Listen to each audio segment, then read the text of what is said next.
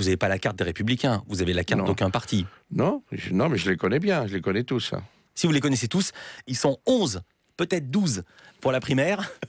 Ça vous fait rigoler oui, parce qu'on dirait la foire du trône. Vous allez voter pour lequel?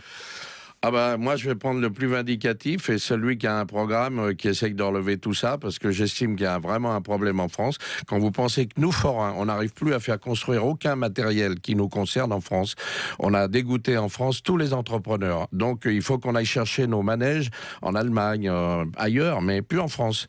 Alors je trouve qu'il va falloir que les politiques se démènent un peu pour qu'on retrouve des entrepreneurs parce que pour parler d'emploi, il faut d'abord qu'il y ait des entreprises.